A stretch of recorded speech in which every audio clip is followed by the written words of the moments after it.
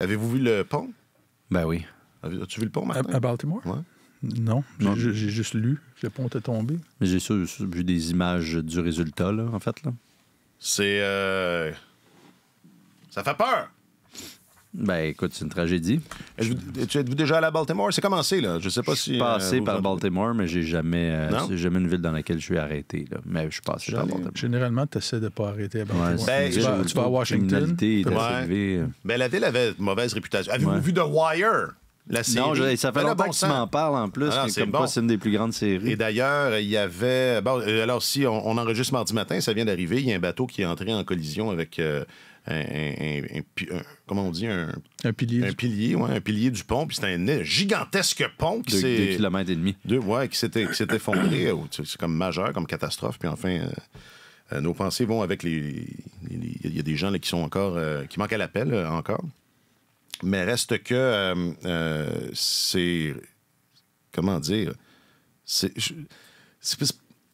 pas rassurant dans l'avenir, dans l'avenir du monde où.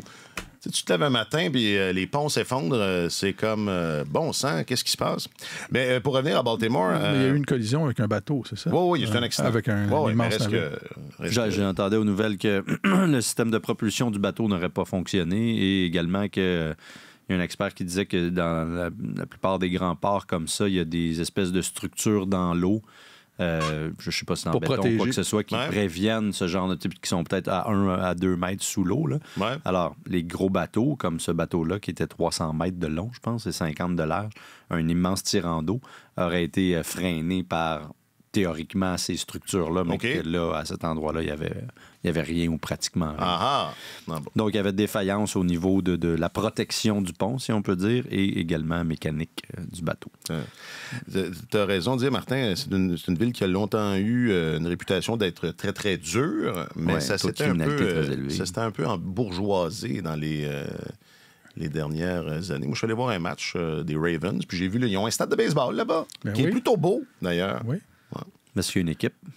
Les Non, non, il y a juste un- non, il y a juste nous autres qui ont des infrastructures, pas d'équipe dedans. Là-bas, quand ils ont un stade, généralement, il y a une équipe. Il y a quelque chose qui joue dedans. Il y a une équipe dedans. Ouais. Comment elle s'appelle, l'équipe de baseball de Baltimore? Les C'est Orioles. beau! Bravo. Bon, enfin, euh, nos, euh, c'est ça. euh, C'est quoi des Orioles, d'ailleurs? c'est un oiseau. C'est un petit oiseau? Oui, avec une tache orange ici. Ouais, ouais. Oui. Ben, je vois l'uniforme, mais c'est- ça, moi, j'avais jamais je- réfléchi à ça avant. Mais moi, c'est un de. On en a des Orioles de Baltimore au Québec. Ah ouais? On les appelle les. Des Orioles. De Ah Baltimore. ouais, c'est ben, un beau petit oiseau.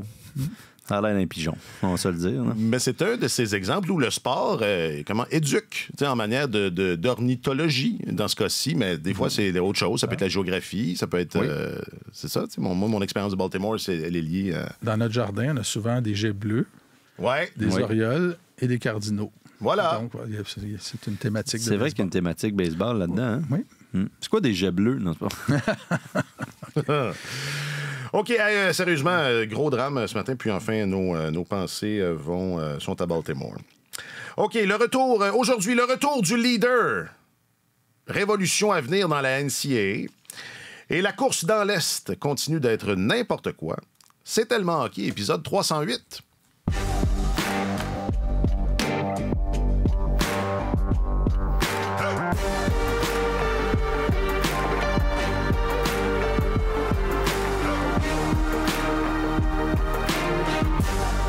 Votre journaliste affecté aux affaires du Canadien et de la LNH, Alexandre Gascon. Salut Alex, Bonjour, messieurs. comment vas-tu? Ça va très bien maintenant que je sais que l'Oriole de Baltimore est une espèce de passereau de la famille des Ichthéridae. Ben oui. Vous le saviez. Ça, c'est pas. Mais ça, C'était clair, me semble. Oui, oui, c'est évident. Mais pourquoi il ne marque pas sur l'uniforme, il me semble? C'est tant qu'à être euh, éducatif. euh. Euh, content de te retrouver, Alex. T'as fait bon voyage? Oui, oui, c'était bien. Parfait. Martin Leclerc, tu es notre chroniqueur principal au service des sports. Bonjour, messieurs. Salut. Merci. euh, D'être là. C'est mon travail. D'être là. hey, hey, on pensait que Mais tu je viens- faisais ça par. euh, n'est pas pour nous autres? par, euh, Pour vous voir, je ferai ça gratuitement. Peut-être moins souvent, mais je le ferai gratuitement. Peut-être par mois. Je m'appelle Alexandre Coupal. Peut-être un petit peu de manque d'exécution sur euh, la, la touche finale. Euh, on, a eu- on a frappé des poteaux, je trouve, à Vancouver. On a eu des très beaux looks. On a eu des chances de marquer qui, ont- qui auraient pu virer de notre côté. Euh, hier soir, un petit peu moins. On a eu des chances qui ont manqué le filet. On s'est fait bloquer un lancer qui aurait pu être une, belle chance de marquer. Euh, je trouve qu'on rentre bien dans la zone présentement. On a nos looks, on a nos chances. Puis c'est juste de continuer de l'exécution puis d'être capable d'être euh, un petit peu plus opportuniste sur nos chances de marquer, d'être capable de finir les jeux à place de que la, la l'arrête en fin de compte. Alexandre Burroughs, euh, dans l'occasion qu'il avait de briller euh, dans en ouverture du, Juste balado. Alex, Alex Burrows. C'est vrai. Ouais. Ah ouais? Je pense que c'est juste Alex. ouais. Je suis pas sûr que c'est. Je pense pas que sur le baptistère, Oui. ce soit Alexandre. On va lui demander, mais. il me semble Ça, je c'est pense qu'en cette fin de saison, là, c'est C'est un enjeu. On me dit, on me souffle que c'est Alexandre Burroughs. C'est rare, les gens qui portent qui s'appellent juste Alex. Moi, étant moi-même, là, comment Ça dire, euh, faisant moi-même partie là, de, de cette euh, communauté, ça, Ah ouais, oui. Ouais. OK, ouais, t'as raison. Donc, je pars mal. Là. Ça part bien, je vais te le dire. C'était meilleur euh, dans l'Ouest.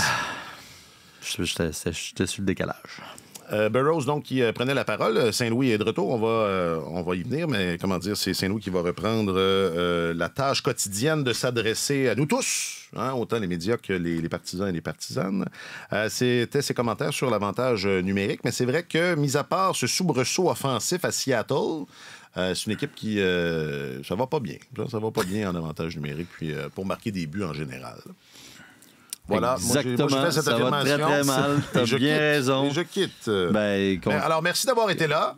Puis on se retrouve euh, vendredi. con- contre le Kraken, euh, les, les gars, Philippe Grubauer les a aidés quand même. Là. C'est ça. à marquer des buts. Ça a été. euh, alors, ils en ont profité, et puis tant mieux. Mais oui, c'est une équipe qui ne marque pas de but, qui en général, depuis quoi, un mois et demi, est à 31e dans la Ligue nationale. Si on, on Mhm. calcule depuis le 14 février, 4 victoires en 17 matchs seulement, incluant celle de lundi contre le, euh, de dimanche contre le Kraken. Alors, c'est une fin de saison qui est pénible, là, honnêtement. Euh, puis avant le Kraken, c'était Columbus. Puis c'était des matchs un peu similaires dans la mesure où on marque beaucoup de buts très tôt en- dans la rencontre.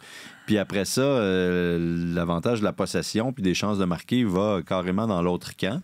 Ce qui est normal jusqu'à un certain point, là, dans le sens que quand tu mènes 3 ou 4-0 en première période, euh, il y a- il y a- Un petit relâchement. ben, non seulement il y a un relâchement, l'autre équipe va, va essayer d'ouvrir le jeu un peu plus, euh, va faire sauter ses défenseurs dans l'action euh, davantage. Et puis tu vas toujours voir l'équipe qui est en retard par, un aussi par une aussi grosse marge. Tu vas toujours la voir obtenir plus de tirs, puis généralement contrôler plus le match, plus- un petit peu plus le match. C'est, un, ajustement qui se fait naturellement, puis c'est normal que tu protèges une avance. Fait ça tempère un peu. Cela dit, le Canadien euh, contre Columbus avait été complètement dépassé par, les événements. Et euh, contre Seattle, moi, je, oui, 37-17 les tirs. Euh, je- Primo a eu à signaler quelques fois.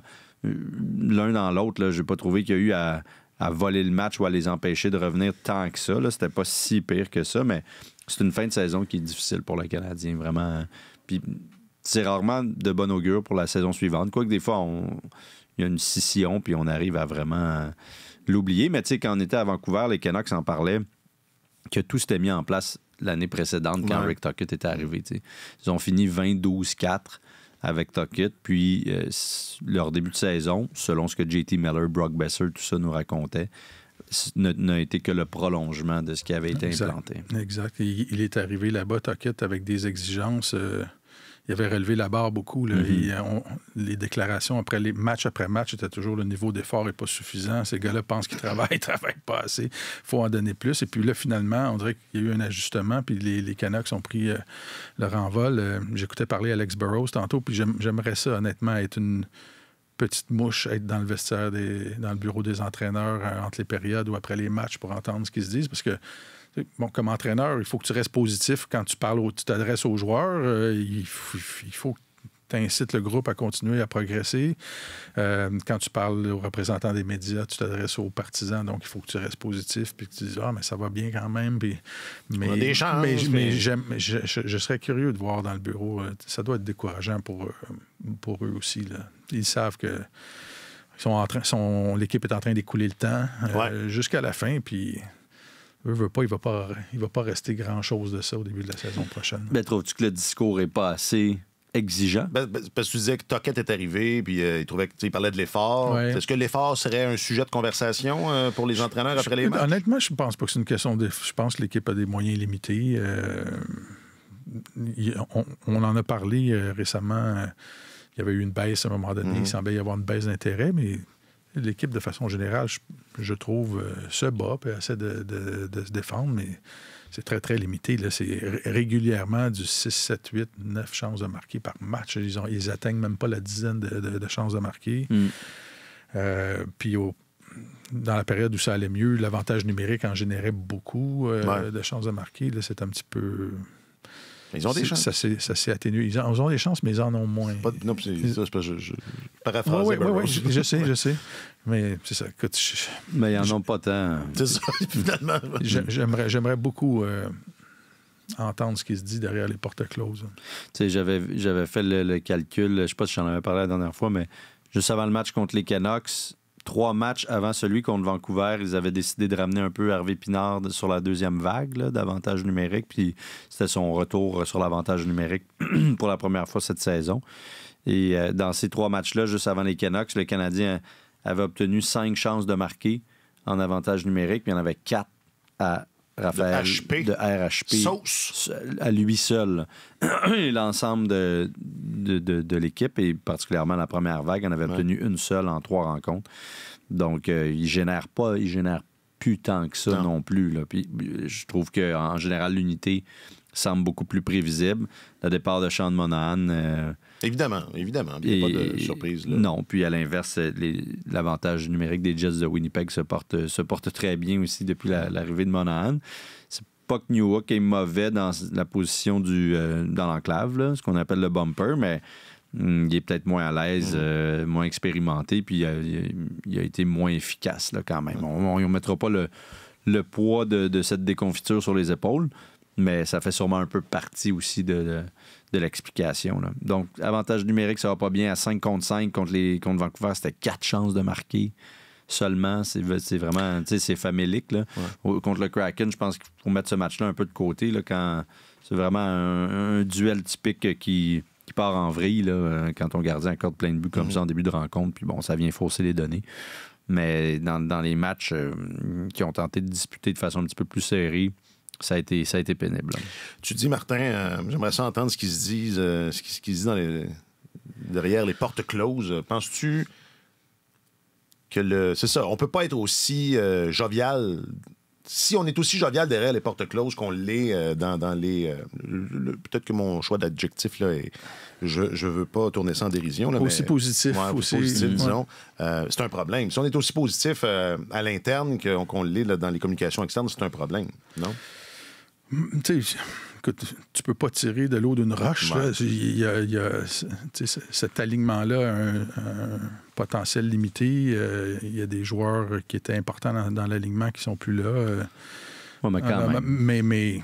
Il y a Josh Anderson. Oui.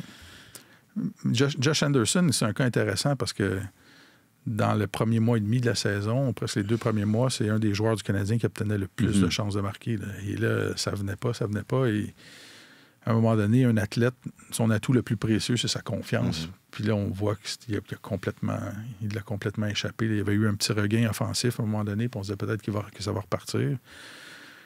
C'est une, saison, terrible pour. Ce que tu veux dire, c'est qu'il n'y aura pas 20 buts à la fin de la saison.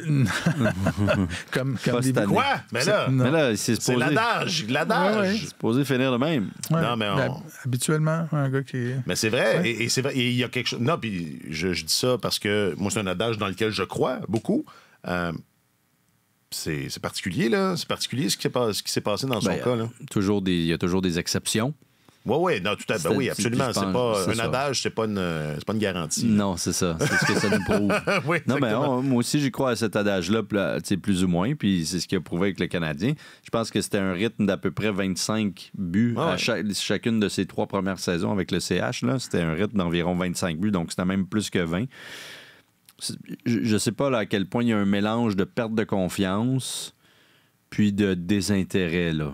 Euh, en ce moment. Là, on, ne voit pas le gars qui euh, voulait s'en sortir à tout prix en novembre, en décembre. Mm-hmm. Euh, bon, il y a une, courte séquence, il en a marqué quelques-uns, même en janvier, puis tout ça. Il continuait à, à mettre de l'avant ses atouts, à essayer de frapper, à patiner, tout ça là, on, on le voit plus du tout. Donc, quand tu disais on, on écoule, le- on écoule les jours, C'est ça. là, Ah je pense que c'est peut-être le, le- le cas le plus Ah. probant de ça. Ben, une, euh, ça me fait penser, j'ai une bonne nouvelle. Je, je m'étais pris une note, mais il reste trois semaines.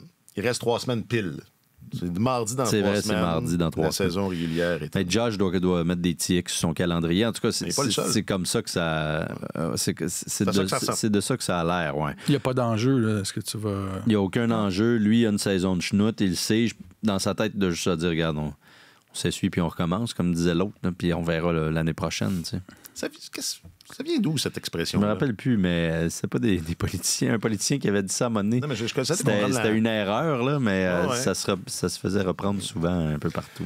On se cache dans les mains puis on recommence. Ouais, j'aime mieux ça. C'est, je Jacques, pas, Jacques Parizeau, j'ai entendu dire c'est, ça. c'est plus facile à. On se crache dans les mains. En voulant dire, on retourne au. euh, moi, c'est assez le- le- rare. on voit bien que le travail manuel, c'est pas C'est la. assez rare que je me crache dans les mains, là. Mais c'était comme à- quand tu bûchais avec une hache. Je pense pas que Jacques, euh, le travail manuel, c'était sa, sa tasse de thé non plus. Je dis ça de même, je le connaissais pas personnellement, mais Il l'avait entendu. OK. Euh, il juste- l'avait entendu. Il l'avait entendu parler. Monsieur. Euh, où est-ce que. C'est pas, euh, pas un diplômé d'Harvard, euh, Parisot, mais il avait fait des études. Non, ben, il était à euh, Outremont au co- au collège non, non, non, je Stanislas sais, dans sa jeunesse. c'est mais il avait fait des études. Un citoyen du monde. euh, Il avait Tu as pas. étudié à Oxford, à, là, Ouais, ben, c'est c'est ça, ça, en. Angleterre. London Schools of- à Economics, oui. le plus jeune professeur de l'histoire de London, London Schools of Economics. Jacques Parizeau? Oui. Alors, euh, Ben, c'est ça, c'était un grand économiste. pour votre euh, prochain match des de quelques arpents de piège, ceux et celles qui sont à l'écoute, gardez ça en tête. Oui. Euh, Martin Saint-Louis sera de retour euh, ce soir. Enfin, il sera de retour avec l'équipe aujourd'hui. C'est ce soir hein, que le match contre Oui, l'Avalanche. ouais. à 21h, heure Oh, de l'Est. euh, soyez là. Euh, non, mais il y a des belles affaires à regarder du côté de l'Avalanche. Alors, soyez là. Euh, je sais pas, je pose la question très candidement et je me fais un peu le porte-parole, comment dire, ben, de ceux et celles là, qui, qui, qui, s'interrogent en ce sens-là. On dit souvent. Bon, on a dit, nous autres, quand Saint-Louis n'était pas là, que c'était la grande vedette de cette équipe-là, que c'était le leader de cette équipe-là. Euh, Est-ce que ça peut avoir un impact, son retour? Est-ce que, un peu comme un, un- une, super vedette qui revient au jeu, est-ce qu'il y a un parallèle à faire ou est-ce que cette saison qui n'en finit plus commence à m'impacter au niveau euh, psychologique? Débattez. Je pense que tu commences à être impacté. Ben, d'avoir euh, survécu jusque-là, c'est pas pire. Peut-être qu'il y a un aspect euh, psychologique à tout ça, là, dans, la, dans la mesure où c'est une espèce, c'est leur gourou, là, Martin Saint-Louis. C'est ça. C'est vraiment. C'est maître à penser. Ouais, alors, ben, peut-être qu'il va avoir un moment euh, tu sais, émotif. Il risque de parler un peu de ce qui. Pour, Ouais. Plus en détail, pourquoi il est retourné, euh, qu'est-ce qui s'est passé, tout ça. Alors. Euh, c'est de nature à souder le groupe, ça, peut-être un peu, puis on va, on va peut-être se serrer les coudes. Après ça, euh, c'est sûr qu'ils font face à une, grande puissance, donc je pense pas que ça va changer quoi que ce soit, mais d'un point de vue. euh, d'un point de vue ciment là, dans cette équipe-là, ben, ça sera pas. Ils vont être contents de le retrouver. Puis, s'il est là, c'est probablement parce qu'il y a des bonnes nouvelles et tout. Alors, j'imagine que tout le monde va pousser un super de soulagement puis qu'il va avoir une belle ambiance. Après ça, euh, est-ce que cette bonne humeur-là est- va être suffisante pour freiner l'avalanche du Colorado? La série de neuf victoires consécutives. Ouais, c'est ça. J'oserais dire que non. Là. Ils ont un joueur au Colorado, euh, numéro 27. C'est qui, c'est qui ce gars-là? 27 ou 29, tu veux, Tu- veux 29? parler du 27, toi? Ça a déjà été le 27. euh, Ben, tu veux parler de Jojo ou de Je vais Nathan? parler de Jojo. Ah, c'est je fais 27. semblant. Je fais semblant 27. que. On peut je parler le des deux. pas. On peut parler des deux. Je savais pas duquel parce qu'il y en a un qui. euh, comment dire? Il y en a un qu'on sait c'est qui. McKinnon, on sait c'est qui. Oui. Mais là, c'est qui l'autre, le 27? C'est qui ce gars-là? Il est bon, ça, il est bon. Hein? Ça- Quel match euh, contre les Pingouins de Pittsburgh pour... euh, Non, mais je suis très heureux pour Jonathan Drouin. ben, pour mais- vrai, là. ben oui. On aurait jamais dû l'échanger. On l'a pas échangé. Je sais. OK. On l'a laissé On partir. l'a laissé. On l'a- on perdu pour rien, en plus. Ça, c'est une gestion des actifs, là. C'est épouvantable. Tu dors au gaz, Ken Hughes. Ah non, mais Jonathan a, a l'air heureux au Colorado. on serait à moins. Mm, On l'a- il a retrouvé son body, on le sait. euh, il est probablement beaucoup moins sous pression, tant mieux. Il a de la difficulté à gérer ça. Alors, c'est c'est juste, c'est super agréable de le voir connaître du succès. 46 points. Il est pas loin de son sommet personnel qui est de 53. Il l'avait fait une fois avec l'Avalanche, euh, une fois avec euh, le Lightning, puis une fois avec le Canadien. Et puis, je lui souhaite que du succès, que du bon, puis d'être de, de, de, d'être capable de, de, retrouver un contrat un petit peu plus long terme. Oui, c'est ça. Pensez-vous qu'ils restent là? Pensez-vous qu'ils ont. Je n'ai pas regardé, ben, j'ai pas étudié la situation. Comme on dit, c'est un bon fit. Ben un... oui. Le mariage est heureux. Mais là. Et il y a des joueurs qui apprennent à la dure que euh, tout mariage n'est pas heureux. Puis là, je parle pas de. Je parle, parle professionnellement. Vie, vie, exactement. Il, sûrement qu'il y en a qui l'apprennent aussi, mais je veux dire, d'un point de vue professionnel. Ouais. T'sais, prenez Elias Lindholm, là, par exemple. Je comprends que l'échantillon est encore mince, mais clairement, euh, son, son... il, s'insérait mieux dans le, le, style des Flames de Calgary jusqu'à présent. Plus difficile à Vancouver. Il y en a plein là, de joueurs comme ça pour qui ça allait moins bien. On n'a pas besoin de, de, faire une liste d'exemples, mais Jonathan Drouin est certainement conscient que c'est une, une place où il, qui lui permet de, de déclare ou en tout cas de, Mm-hmm. se, de se sentir bien. Alors, j'imagine qu'il serait peut-être prêt à accepter un peu moins d'argent pour rester là si jamais l'Avalanche lui Mais fait une pas offre. tant là. moins que ce qu'il accepte, ce qu'il a accepté cette année. C'est là que je veux en venir un peu, là, parce que bon. euh, Mais il a pris 800 000 cette année. C'est là. ça. On pourrait pas vraiment accepter moins. Là. Non, mais euh, autant, mettons. Ce que je veux dire, c'est que là, Ah, euh, Drouin connaît une saison pour aller chercher un contrat de, je sais pas, 4 ans, 4 millions, un truc du genre. là. je dis ça sans réfléchir. C'est là. mieux des fois d'accepter moins d'argent. Et être à la bonne place. Être bien, c'est ça. Dans, dans Ouais. le, dans, le bon, dans le bon encadrement. Euh, Drouin, ça fait pas loin de 10 ans qu'il n'a pas connu une saison euh, qui aurait terminé avec un, un différentiel positif, avec un bilan défensif positif. Euh, 14 buts, il y a plus de buts cette saison que lors des trois dernières saisons réunies. Euh, avait une chance de terminer avec son plus haut total de points en carrière. Mhm. Alors, ça vaut, ça vaut quelque chose. euh, a- il a quand même fait un peu d'argent depuis le début de sa carrière. Alors, s'il y a une chance de, de signer un nouveau contrat au Colorado et d'accepter un petit peu Mais moins plus que d'argent. 800 000, c'est ça que je Ah, ben Ouais, oui, ouais, c'est ben oui. Ce serait du 2-3. euh, tu sais. C'est- C'était, c'était pour se donner un élan, ce contrat-là, pour euh, reprou- reprouver sa valeur et Ouais, tout ouais. ça. Mais en tout cas, avec, quand tu t'assois avec ton agent, ça mérite réflexion de dire je suis heureux dans cet environnement-là, je produis, ça va bien, j'ai pas de soucis, j'ai moins de pression, c'est pas moi qui, qui dois transporter l'équipe sur mes épaules et tout ça, ça, a- ça a une valeur, ça aussi. Alors, Je pense que les, les- sa performance en séries éliminatoires va aussi Ouais. euh, beaucoup dicter peut-être la suite des choses, à quel point euh, l'Avalanche continue de croire en lui, puis trouve que c'est un complément euh, juste et, et peut-être idéal dans, certains cas, et puis quelle valeur il va avoir. là. Donc, euh, j'ai bien hâte de voir ce qu'il va être en mesure de faire en série. Tu sais, contre les Pingouins, euh, il y a- il y, a quelques jours, c'était quand même. euh, le- le- il marque le but pour se rapprocher à 4-3, prépare celui de McKinnon pour créer l'égalité, compte encore en prolongation. Toutes des belles pièces de jeu en plus. C'est le fun de voir euh, ce joueur-là qui est extrêmement talentueux, être capable de laisser parler justement son talent sur la glace. Puis euh, je suis bien, bien content pour lui. là. il y a Lekonen qui, Ah ben les Conan. Lekonen qui va aussi très bien. Pourquoi tu dis ah ben pourquoi tu dis ah ben, Ben, lui, Lekonen? lui, on n'aurait jamais dû le laisser partir. Ça-. C'est le préféré à, à C'est mon, meilleur. Ah, Ben, on va- trouvait que c'était un bon deal à l'époque. Écoute, euh, moi, je, je veux pas. tu sais, à quel moment est-ce qu'il faudra dire que Justin Barron, euh, c'est pas. Tu sais, je pense qu'il est encore tôt, là. On- Il y avait un, il y a un choix de deuxième tour aussi euh, de- de au prochain année. repêchage. Ouais. Alors, allons-y. Non, puis personne. Je, on l'a déjà dit. Là. Lekonen, je pense pas qu'il serait devenu la menace offensive qu'il a été puis qu'il est à- au Colorado. Je pense pas je pense pas qu'un jeu- je pense pas qu'il aurait trouvé ça ici, ou du moins, euh, disons que je ne mettrais pas euh, d'argent là-dessus. Mhm. Non, je suis assez d'accord. Mais bref, euh, l'Avalanche, ce que, ce que j'ai. Bon, tu veux arrêter? Non, non, non, non, mais je veux dire, on n'est pas obligé de. Mais vas-y. Ce que je trouve intéressant de l'Avalanche aussi, c'est que euh, je l'ai trouvé un peu mince à l'attaque avant Ouais, la, ouais, ouais. la date limite des échanges. Puis on en avait parlé à l'époque, mais ils ont vraiment fait des, des- des bonnes prises, tu sais. des bonnes acquisitions.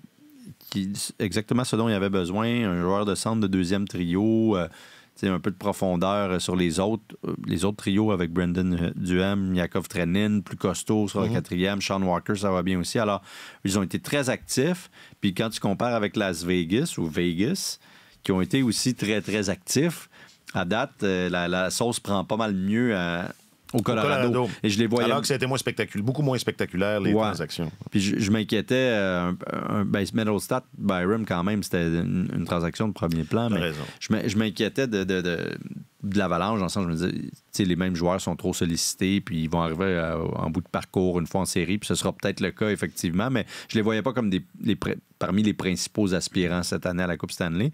Et puis là, euh, force est d'admettre qu'ils sont peut-être pas dans les deux ou trois premiers, mais sont, sont vraiment pas loin, parce que c'est les ajouts qu'ils ont fait, c'est très, très pertinent à leur formation. Je mhm. pense que ça vient changer la donne complètement. Puis à l'inverse, Vegas, bon, c'est sûr, Thomas Chartel est toujours blessé, il n'est pas là. On verra en temps et lieu. Ils vont avoir une formation euh, extrêmement puissante quand tout le monde va revenir au jeu. Là. Mais, tu sais, Anthony Manta, puis euh, Noah Neffen, puis tout. Puis je les regardais jouer hier contre les Blues. Ils sont pas impressionnants. Là. Ça n'a pas euh, l'équilibre. On n'a pas réussi à rééquilibrer tout ça comme ça arrive souvent quand, quand il y a une injection de 109 de joueurs important quand même. Mais ils n'avaient pas une grande saison au départ non plus. Quand ils sont arrivés à la date limite de transaction. ils sont encore la dernière équipe qualifiée. Là. Puis euh, hier, ils ont, sauvé leur peau, honnêtement. là, ils ont cinq points d'avance sur les Blues. puis il y a un match en main. Fait je pense qu'on peut dire que c'est réglé. Mais s'ils perdaient ça à la réglementaire, hier, ils seraient à deux points. Les Blues auraient été à deux points. C'était tout sauf réglé. C'était tout sauf réglé. Puis honnêtement, ils ont été chanceux en troisième période. Braden Shen a frappé le poteau. Euh, Krug a frappé le poteau. Euh, Logan Thompson a fait un arrêt sensationnel sur Hayes en, échappé. Euh, les Blues donnaient vraiment. Ils savaient là, que la saison jouait là probablement. Ils donnaient tout ce qu'il y avait. Puis les Golden Knights, je les trouvais un petit peu dépassés par les événements. Donc là, ils vont être en série. Mais sous quelle forme ou dans quelle forme vont-ils y arriver? Ça, c'était voir. Question du public, réseaux sociaux. Question du public, réseaux sociaux. Question du public, réseaux sociaux. Question du public sur les réseaux sociaux? Là où ça fait mal, réseaux sociaux.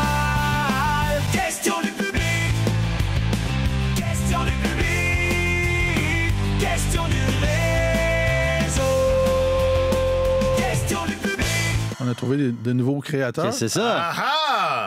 Allez, réagissez, là. mais non, mais réagissez mieux. Tu me regardais pas pendant que tu business sur ton téléphone, mais j'étais là. C'est Simple Plan qui a fait notre. Euh... Alors, le créateur a donné signe de vie. Ah, OK. Ah, c'est le créateur. C'est le... en personne. Ah. Et il a, il a non seulement euh, répondu à son, son avis de recherche,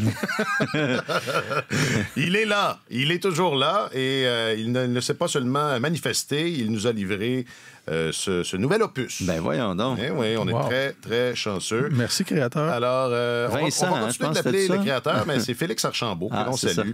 Euh, merci infiniment, Félix. le créateur, c'est quand même un assez bon surnom. Je pense que c'est pas pire, hein, c'est ça. Donc, on va... on va... enfin, on va alterner peut-être. Ou, mais merci, Félix. Puis si Félix fait un, un, podcast aussi sur le rock, punk, metal, ça s'appelle bon, là, j'ai fait de la web euh, confidence. J'ai fait euh, un peu de web diffusion en fin de semaine, puis là, il faut, faut que j'aille chez l'optométriste. Tu vois plus rien? Je vois plus rien. Là, je disais, hein, je pas Alors, euh, les gars de Ripé, c'est ça, Jack? ce que je les gars de Ripé. Euh, donc, lesgadsderipé.com, les gars, D-E-R-I-P-E.com, les gars de Ripé, c'est ça. Jazz de rock, disponible partout, sauf sur audio. ouais, c'est ça. bien joué, Félix. Euh, mais, et merci encore. Alors, on, a demandé, euh, donc, à ce public qui suit les comptes de Radio-Canada Sport, quel est le match de hockey, on, va, on change d'air un peu, quel est le match de hockey le plus marquant auquel vous avez eu la chance d'assister? Pensez-y pendant que euh, je partage quelques euh, réponses. Sur Facebook, Dominique, le dernier match au Forum. Je repense à l'ovation de Maurice Richard et j'ai encore la chair de poule. être là. moi, j'ai vu, des, vu ces affaires-là à la TV. À la TV. Où ça? c'est, quoi ça? Ça, les enfants, la TV, c'est l'ancêtre euh, euh, de votre téléphone. Euh, sur Facebook, Pascal, le match où Saku a fait son retour sur glace après avoir combattu le cancer. Ça aussi, je m'en souviens, mais je n'étais pas là en personne. toujours sur Facebook, Geneviève, la finale de la Coupe Stanley, match numéro 4 de Montréal, CH contre Tampa Bay.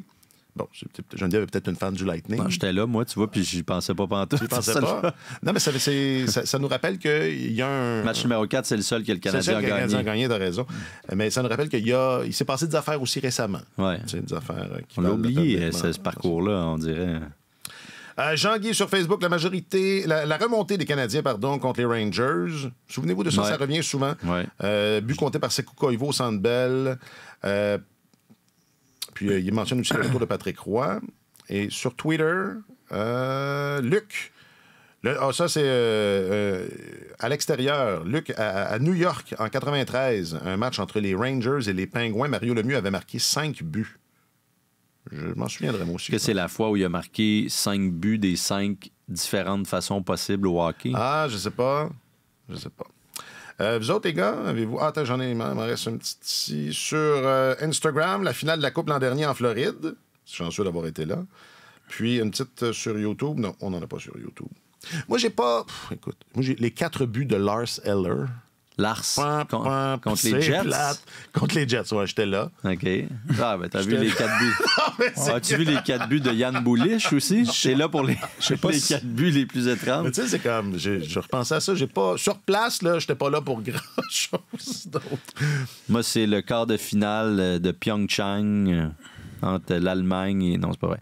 Euh, J'en ai une couple, là, moi, quand même. On a, J'ai- on a vu. Vous on- Nous, Vous ensemble. êtes là souvent, là. Ensemble. Ah oui, c'est ça. Vous vous êtes tellement là souvent que ça vous en prendrait un ensemble. Ben, celui ensemble, je pense que ça va être notre premier. oui, la finale du championnat mondial Ah, junior. ben ouais. oui, ça faisait longtemps Ouais. que vous n'en aviez pas parlé. Mais je pense que c'est le meilleur match de hockey qu'on a vu ensemble. C'est notre premier. Tu sais, c'est dire, hein? Ça, avait, par- ça avait commencé fort. Ça avait commencé fort, mais si on s'était dit, hey, il fait combien de temps? Sept ans? Sept ans plus tard, les gars, vous n'aurez pas vu un meilleur match que ça au Centre Bell. Ça aurait été. Je suis pas sûr que j'aurais signé, là. Dit, ouais. Ouais. Euh, ben moi, j'ai des souvenirs de ça, mais euh, pas euh, précis, mais par moment. C'est comme des éclaircies. C'est euh, le, moi le fameux deuxième match de la finale de 93 contre les Kings. Donc le tour du chapeau d'Éric Ouais. Desjardins, Ouais, la palette de Marty McSorley. T'étais là pour la palette à Marty J'étais McSorley. là avec mon papa. Hein, comment est-ce que je savais ça, mais j'ai oublié sûrement. Sûrement que Parce tu savais ça. Ouais. ça. hein. C'est sûr, j'ai probablement déjà raconté ici. là, en, Les- fait. ouais, En- sûrement. en six ans, il y a des bonnes chances. des redites des fois. Oui, alors euh, ça, j'étais, ça, j'étais là. La palette à Desjardins Desjardins La qui crée palette. les- Ça l'égalité. d'ailleurs- du chapeau de Desjardins. Ça sera d'ailleurs le titre. euh, de l'épisode? non, non, ben, pas ouais, peut-être, ou, en- ou d'un, De ma bio. d'un livre apparaître. La palette la plume. McSorley. La palette. Mais à. Sochi, euh, j'ai vu les deux finales aussi. Là. C'est pas pire, ça. Les deux finales, euh, Martin aussi, probablement. Oui, oui, absolument. Celle, celle des hommes était tellement contrôlée de bout en bout que c'était pas un match de hockey si palpitant que ça. Tu avais l'impression que la Suède avait comme aucune chance, Mm-hmm. même s'il avait joué 12 périodes. Tandis que le match des filles, ça avait été exceptionnel. Ben, la fin, là. En fait, je me rappelle juste de la fin, pour être honnête, là. même si j'étais là tout le long, mais. Le Canada avait été dominé de bout en bout dans ce match-là. Ouais, c'est ça. Le, Puis, pot- le poteau en, en- en- à la fin de la troisième période. avec le gardien Puis, retiré. tu sais, Poulain, donc, qui crée l'égalité, mais euh, de mémoire, c'était 2-0 jusqu'à. Tard. Moins, il restait moins de 10 minutes au match. Oui, là. oui. Si c'était pas même autour de 5, là, c'est 2 à 1. Enlève le gardien, euh, les Américaines qui dégagent, ça touche le poteau parce que c'est le filet désert. Et là, les Canadiennes repartent à l'autre bout, Poulain crée l'égalité et marque en avantage numérique en prolongation. Donc vraiment, toute cette fin-là, ça avait été... euh, Mais on s'entend que quand tu dégages dans un filet désert et que ça frappe le poteau, tu devrais le savoir que tu vas perdre. ça regarde. Comme ça regarde bien ça mal. regarde mal.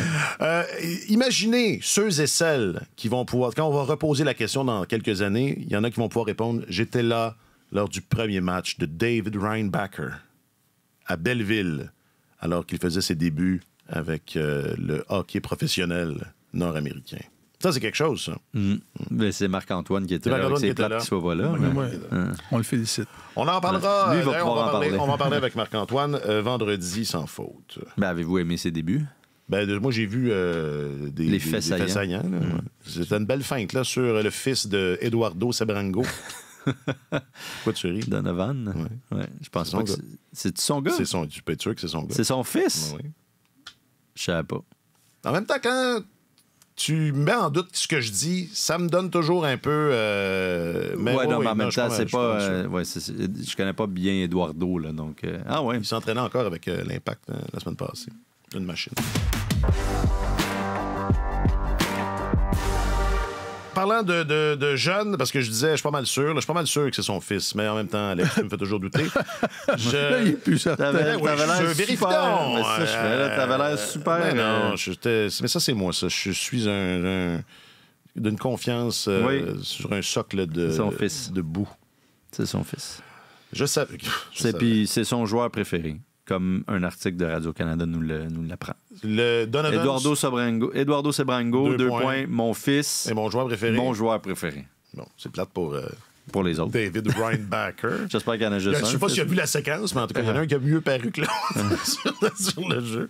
Bon, parlant de ces jeunes-là et de leur développement là, et de comment on progresse euh, vers euh, le hockey professionnel, euh, Martin, tu signais une chronique euh, très intéressante cette semaine qui, et, et sur laquelle tu nous éveillais sur quelque chose qui se trame? Peut-être, est-ce qu'il faut utiliser le conditionnel?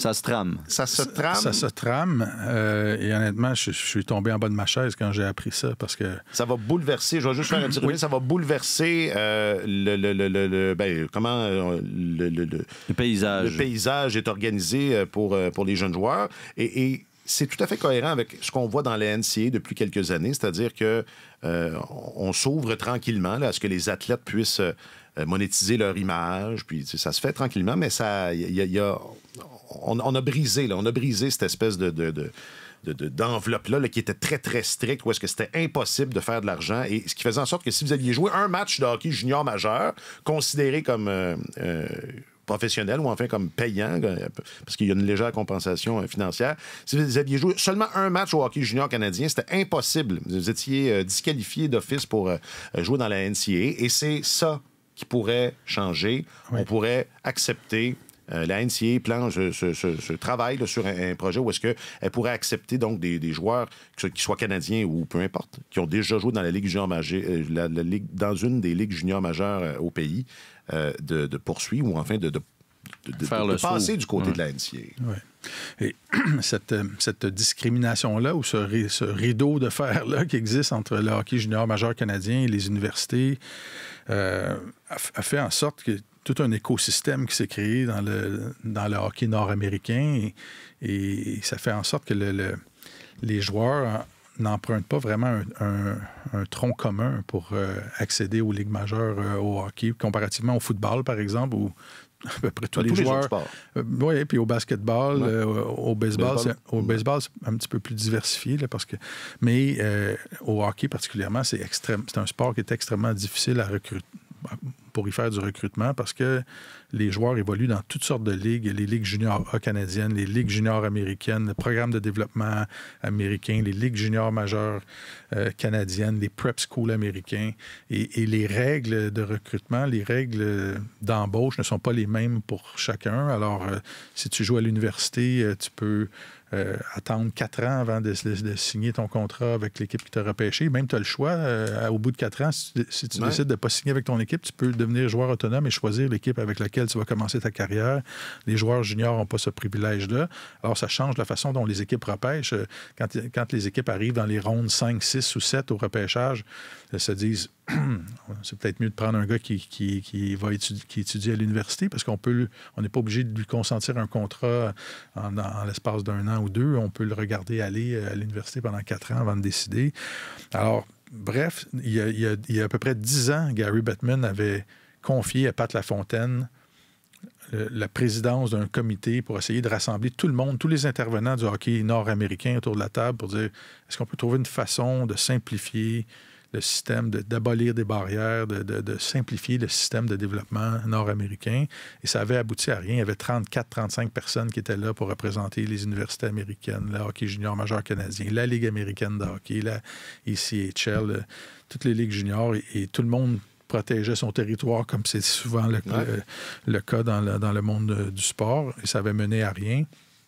Et là, il semble que juste en changeant cette règle-là, euh, si la, NCAA ouvre ses portes aux joueurs juniors majeurs, ça va faire une grande partie du travail qui était recherché au départ. Euh, euh, mais ça va complètement bouleverser le monde du hockey. Alors, les impacts vont être très, très clairs. À mon avis, il y a beaucoup de, des meilleurs. Il y, a, il y a un- il y a un trou dans le hockey, dans le système de hockey américain. Il y a un chaînon manquant. C'est l'étape qui sépare la fin de l'école secondaire et le début du hockey universitaire. Donc, le, st- le, le- le- le stage junior. euh, Ouais. euh, ils- ils n'ont pas de ligue. euh, junior bien établi. Euh, aux États-Unis, tu termines l'école secondaire euh, vers, 18 ans. vers 17-18 ans et tu commences à jouer du hockey universitaire habituellement parce que les, les joueurs sont un peu plus vieux. Tu perces l'alignement à 19 ou 20 ans, 21 ans des Sauf fois. les meilleurs. Là. C'est ça, à part, à part les ultra talentueux. Alors, les joueurs doivent se trouver une place pour jouer junior. Euh, Alors, il y en a beaucoup qui viennent jouer, des Américains, au hockey junior A canadien, dans la BCHL en Ontario. Il y a la USHL aux États-Unis qui, qui a- qui est devenu plus crédible, là, qui, accueille beaucoup de joueurs et qui est devenu comme un bassin, là, un tremplin avant d'aller à l'université. Euh, et au hockey canadien, on a notre chaînon manquant, c'est l'uni- l'universitaire. On a un très bon réseau junior euh, de hockey junior, mais on ne s'est jamais préoccupé du niveau universitaire, alors que le hockey est un sport à développement tardif. Et là, si la NCAA change sa réglementation et décide d'accueillir les joueurs juniors majeurs, il y a des autobus pleins de joueurs américains qui vont vouloir venir jouer au hockey junior majeur canadien pour côtoyer les meilleurs joueurs au monde. Et il y a plein de Canadiens qui. et il y a plein Et de ensuite, Canadiens. qui, à euh, 20 ans, vont- Tu vas remplir le boss dans Ouais. l'autre Ben sens. ouais. Oui, à, à 19 ou 20 ans, où, ça, ils vont vouloir aller jouer dans la NCAA, le- le- ab- absolument. Ça va être une occasion d'aller poursuivre leurs études au lieu d'aller se promener en autobus dans la ECHL ou dans la Ligue américaine, de terminer leurs études, de jou- jouer dans un calibre euh, extrêmement élevé et de se préparer et de, de garder une visibilité auprès des équipes de la Ligue nationale pour, euh, pour finir par décrocher un contrat professionnel. Alors, cette- cette- l'abolition de cette règle-là par la, la NCAA corrigerait une lacune du système de hockey canadien et une, une faille dans le système euh, américain et ça créerait, ça créerait un... Je parlais à un directeur général de la Ligue nationale hier qui me disait ce serait incroyable pour nos recruteurs là, parce qu'on verrait une grande partie des meilleurs espoirs nord-américains s'affronter dans les rangs juniors avant le repêchage. On pourrait comparer des pommes avec des pommes au lieu d'essayer de- de- de- d'imaginer ce qu'un joueur américain de la USHL ou de, de prep school pourrait faire au hockey, euh, au hockey junior majeur. Euh, et et- et le, le développement se poursuivrait. euh, C'est ça, ça permettrait à des joueurs de 18 ans, 18-19 ans, mettons, pas repêchés ou euh, la, sur la ligne, non seulement de poursuivre leur développement comme hockeyeur, Mais mais, d'étudier. entre nous, tu sais, ça. c'est c'est- Ah c'est si à 20 ans, tu as la chance d'aller jouer à Harvard, mettons, par exemple. là. Donc, connais-tu d'autres universités que c'est pas mal la seule. Il n'y en a pas juste une aux États-Unis. mais, mais- mais imaginez ça, tu sais, ce serait possible. Oxford, c'est aux États-Unis, ça. Ça, ça serait possible pour un gars qui a joué à Drummondville, à Québec ou à Shawinigan de, de- à 19 ans dire écoutez, moi, je m'en vais à- étudier à Michigan ou euh, à Wisconsin ou à, ou Harvard. Nord, North Dakota, c'est moins prestigieux. C'est plus pour Mais ça que reste que-. Mais c'est mais c'est- Michigan Tech, euh, Michigan State, il y en a plein au, ça, Michigan. c'est ça. C'est un très bon programme de hockey, cela dit, Dakota. Minnesota. Denver. Non, Mais Sarah Fillier joue à Princeton, c'est pas pire. Ouais, ça, c'est bien. Mais oui. Alors, et, et ça, aurait On va pour effet, ça aurait pour effet Ça de relever le niveau de jeu. Ouais, Dans les deux. Ben, ça, c'est en tenant pour acquis, par exemple, que énormément de joueurs américains euh, feraient le saut au nord de la frontière. Là. Ben, Que l'air de. Ben, donc, Ben, c'est- non, ça- mais comme- ben, alors quel avenir pour la USHL à ce moment-là? Il, ils vont disparaître, il va y avoir une fusion, il va y avoir. euh, Euh, moi, ça Parce me- que Friedman Ça, a- me- ça me surprendrait pas que la USHL un jour se joigne au. euh, Ils ont parlé de. C'est ça. Elliot Friedman a parlé de, de fusion potentielle. ouais. Où lui et Jeff Marek, en tout cas, là, les deux ensemble, en discutant, disaient que, que c'était une réelle possibilité Ouais, ouais, là, ouais. qu'on en vienne là euh, éventuellement. Oui, oui, ça se discute depuis plusieurs Ouais. années, ça. Et que c'est plus une question de temps là, que de est-ce que. Est-ce que ça va se faire? C'est Ouais. plus- c'est pas, est-ce que ça va se faire? C'est plus, plus, quand. quand. Ouais, ça serait plus ça, Les 5 W. de ce qu'on comprend. Ça risque de. Ouais, c'est- ça pourrait révolutionner. Non, non, euh, c'est une, révolution absolument euh, majeure. Euh, Reste la disparité au niveau des règles du repêchage. Au moment où tu es repêché, l'issue d'où tu proviens change tout. Puis là, ça devient un peu, euh, comment dire, Dépêche-toi d'aller à l'université. pour être, fallacieux. euh, Ouais, c'est ça. Ça devient un peu fallacieux parce que c'est. C'est, complètement injuste. C'est un gars qui, mettons, se ferait repêcher à son, son année de repêchage, se ferait repêcher en jouant pour les cataractes de Shawinigan. Puis là, Oh, finalement, un an plus tard, fait le saut à l'université, mais lui, Laquelle, il lui reste juste, mettons, il va à Harvard. Puis là, il, puis là, il reste juste un an pour signer son contrat, alors que le gars euh, Qui a fait le contraire. qui, ouais, qui a Ben, joué, ou du moins. qui a joué en USHL, mettons, ou sa version fusionnée, ou peu importe, mais il est resté aux États-Unis, se fait repêcher à, à 17 ans, son année de repêchage en USHL, puis il a fait le saut euh, l'année suivante, ou, ou même va jouer une année junior majeure l'année suivante, et plus tard, s'en va à l'université. Mais là, lui a 4 ans et peut choisir son équipe après 4 ans versus le gars qui a été. euh, Ouais, repêché- ouais. Lui a On- juste voit 2 le- ans, puis s'il ne signe pas, il repasse par le repêchage. Mais ça, c'est une autre question. Puis, Fait est-ce que, mais- non, mais est-ce que ça découlerait? Est-ce que ça serait la question subséquente? tu sais? Est-ce qu'une fois que ce changement-là va être euh, autorisé, confirmé, est-ce que c'est pas à ce dossier-là qu'on va, qu'on va s'attaquer? Parce que là, il y aurait comme une confusion des genres un peu. là. Non? Ouais. Ben, écoute, c'est- c'est l'association des joueurs qui devrait euh, négocier ça dans le, C'est ça. dans le cadre du contrat de, de travail. Et euh, la Ligue nationale a une entente avec la Ligue canadienne de hockey. Euh, la Ligue nationale donne plusieurs millions de dollars chaque année au hockey junior majeur canadien. Les bourses d'études des joueurs, c'est la Ligue nationale qui paie ça. Les frais d'arbitrage, c'est la Ligue nationale qui paie ça. Il y a énormément d'argent qui, euh, circule. Et la Ligue nationale finance aussi le hockey universitaire euh, américain. Il y a- il y a de l'aide financière qui est faite. Alors là, ça, ça- faudrait sans doute renégocier les, les règles, mais on, a- on aboutirait probablement avec des règles communes euh, plus que- Exact. C'est ça. Au, au lieu d'avoir des joueurs qui sont, qui sont Il faut renégocier les règles parce que là, si justement les, les, les, Mais c'est- les portes sont ouvertes, puis euh, tu sais, c'est- on, on peut, euh, on peut circuler librement, Ouais. mais il faudrait que tout le Mais monde permet- ait les mêmes chances. C'est ça. Mais, mais ce, ce- cette, euh, la fin, là, la chute du, de- du rideau de fer euh, euh, permet cette discussion-là.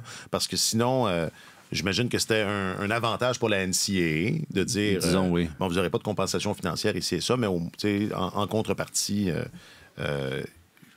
il y a ce statut-là qui fait que vous pouvez euh, même non seulement signer votre contrat plus tard, mais euh, atteindre l'autonomie complète si, si vous décidez de ne pas le faire.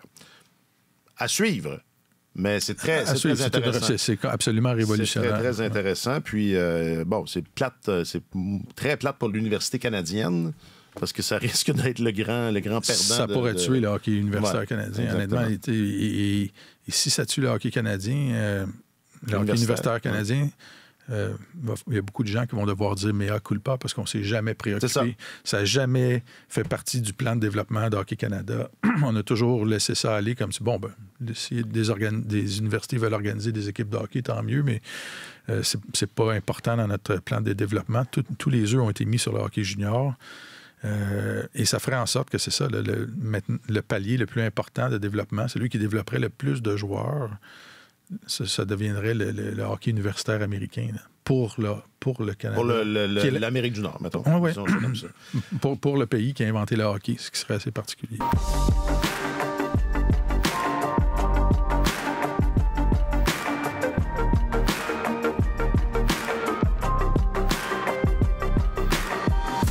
On va se laisser là-dessus. Le, le temps file, mais je voulais juste, parce que je disais euh, que la course dans l'Est continue d'être n'importe quoi. Euh, là, c'est les, les Capitals de Washington, c'est notre équipe cette semaine. On- à chaque semaine, on a une équipe là, qui, euh, qui On a fait un- les Highlanders, On a fait les Highlanders, les, Sabres. On change qu'on les a fait euh, il y a deux semaines, parce Oui. que là, c'est... Ben, les Highlanders aussi, je te dirais. Les Highlanders, ça, ça aussi, fallait s'en occuper rapidement. Mais quelle semaine d'Alex Ovechkin, puis... Ouais, oui, 7 buts en 4 matchs. Ah, il va le battre, là, Wayne, je pense. euh. moi, ben là, c'est ça. T'sais, il connaît une bonne semaine, il va battre Wayne. Il connaît un mauvais mois, euh, il le battra Non, mais c'est parce que quand il connaît des bonnes semaines, il s'en rapproche dangereusement. S'il y a quelques bonnes ouais, semaines encore dans sa vie, il en a plus besoin de tant que ça, des bonnes semaines, tu comprends? Ça a de. Mais oui, oui, ben écoute, c'est n'importe quoi. Les Caps qui sont en série, au moment où on se parle, moi, c'est ce qui me fascine le plus. Euh, dernier laissé-passer, 79 points en 70 matchs. Donc, c'est une lutte à finir avec les Wings qui, eux, en ont un de moins, mais ont joué un match de plus. Donc, ça complique leur vie. Euh, on marque, ils en sont les seuls responsables. là. Ils ont une fiche pathétique euh, depuis un mois environ, les Wings. Mais ce qui m'intéresse surtout, c'est que les Wings sont à plus 6, OK, en termes de différentiel de buts marqués. Ils ont marqué 6 buts de plus qu'ils en ont accordé. Les Capitals de Washington sont à moins 27. Ils sont pas juste dans le négatif, là. Non, Ils sont il fait- profonds il fait froid. négatif. Il, fait, Ils ont il fait- il fait froid où est-ce qu'il où est-ce qu'il se trouve. Et euh, ça, mes chers amis, serait. Il n'y a pas aucune équipe là, qui, depuis le lockout, de, depuis le nouveau hockey, Le, le hockey post-lockout 2004-2005, il n'y a aucune équipe qui, s'est qualifiée avec un aussi mauvais différentiel. Euh, pas loin, par exemple, là, les, les- les Panthers de la Floride 2011-2012 avec euh, moins 24. Ils perdu au premier tour. quand. Donc, quand même. Mais, euh, mais je pas, il n'y a pas longtemps, en plus, les Caps étaient dans les moins 30. Là, donc, mais quand même, à date, un, c'est un événement rare. Ouais. En- il y a eu 15 saisons complètes depuis le lockout. OK? 19 c'est la 19e en ce moment. Il y en a trois, deux COVID, une écourtée. On les enlève.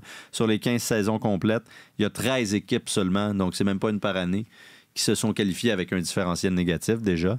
Euh, les Stars sont les derniers, ça fait deux ans, à moins 8. Mais moins 27, généralement, tu te fais rattraper quand tu es, une équipe qui, qui- qui a autant de misère à ce niveau-là. Alors, est-ce que les Wings vont être capables de se relever au dernier instant et de, de se faufiler? Euh, c'est intéressant à bien des niveaux parce que les caps sont vendus, les caps sont clairement dans un mode de reconstruction. Euh, McClellan l'a dit, le, directeur général, Brian McClellan.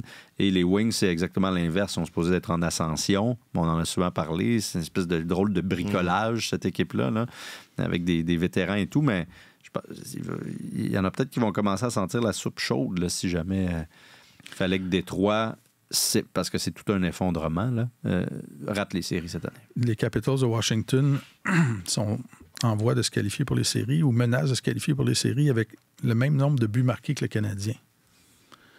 Comme quoi, on n'est pas si loin. Avec moins de buts marqués que les, les Blue Jackets de Columbus, moins Ah, de buts ouais. que les Pingouins, moins de buts que les Coyotes de l'Arizona. Alors, c'est quand même. C'est, c'est, Même pas 200 buts encore. là. C'est- Bon, ben moi, je vous le dis tout de c'est suite. quand même particulier. S'ils se qualifient pour les séries, peu importe leur adversaire du premier tour, je prends. c'est- Ma prédiction, c'est eux autres.